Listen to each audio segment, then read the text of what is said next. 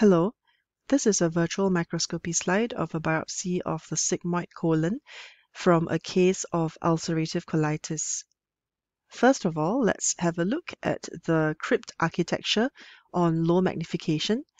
And we can see here in this piece that there is quite a bit of distortion and disruption of the normal crypt architecture. There are some atrophic small crypts here. They are spaced wider apart than usual over here, there is a suggestion of branching of the crypts.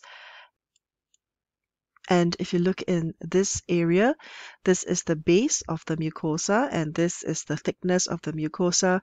We can see that there is shortening of the crypts, meaning that the crypts do not reach right to the base of the mucosa as they should. Here again, there is a suggestion of shortening of the crypts. This disruption in crypt architecture is a feature of chronicity or chronic inflammation in the colon.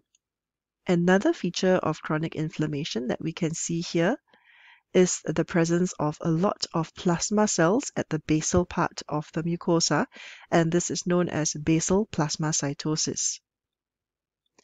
So we have seen two features of chronic inflammation, which is architectural distortion of the crypts and basal plasmacytosis.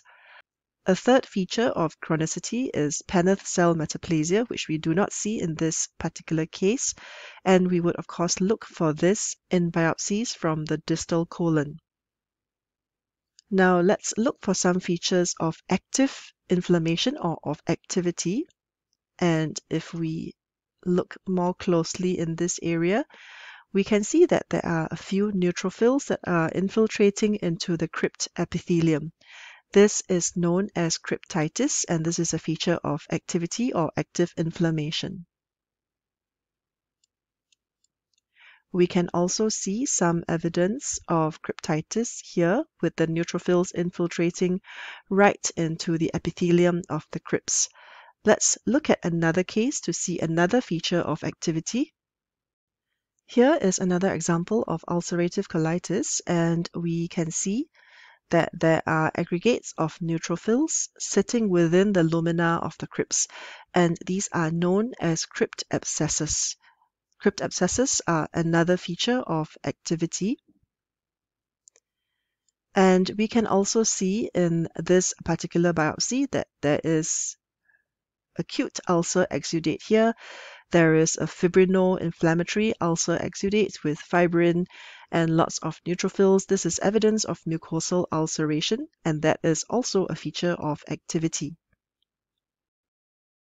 We are now looking at the two cases side by side.